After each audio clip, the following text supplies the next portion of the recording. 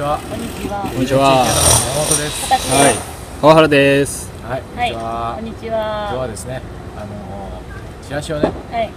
えー、巻くまはい旅。旅をね。オキチラの旅。あ、そうです。オキチラシの旅でございます。えー、3チームに分かれておりまして、はい。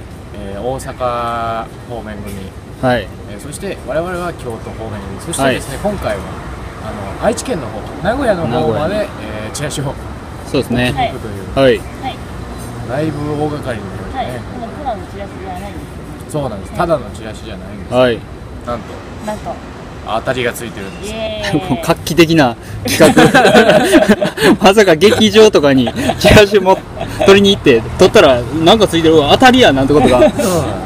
画期的なシステム。は、はい当たり付きチラシなんで。はい。い。そうですね。結構わかりやすいように貼ってますよね。はいですねはい。もうだから探してもらって、取ってもらってもね、すぐわかるようになってます。ただ、そうですね。どこに置いてるかはちょっと、それはちょっと言えないんですが。はい。大体の場所はまあでも確率的に20%ぐらいなんそうですね。一応1000枚ほど巻いて、20枚ぐらい入ってるという感じになっております。2パー2パー2パー2パー。2パーってめっちゃ高いと思う。くじとしては。2パーっすよ2パー2パー。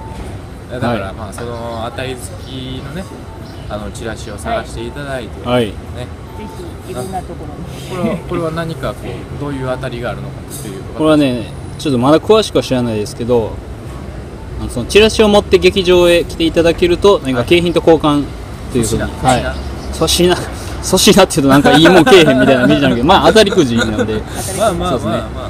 何かもらえる何かいただけるという、景品が。はい。一撃屋からの贈り物でござはいいます、そうでございますはい。はいはいよろしくお願いします、はいちなみにどの辺を攻めるんですか？山本君はえー。僕はですね、えっ、とね、京都の南側にある稽古場を大体回っていこうかなと。はい。い。はい。はい。で小立さんは？私は逆の南南の逆の北 ちょっともう思いやられるな。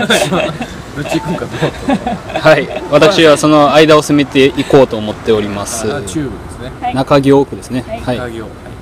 じゃあ、どんどんね、配っていきましょうはいでさ配ってからはみんな3人合流してカフェとか回ってそうですねそうですね。なんかこの辺のお店配れるよみたいな情報ございましたらあーそうですね。あぜひお伝えくだすさいはい全然知らないんで、京都ね。ね本当にはいまた個人個人でツイッターを使って情報っていうか、はい。ここ行ってますみたいなアップするんでよかったら会いたいみたいなあったらもうぜひ言ってください。はい。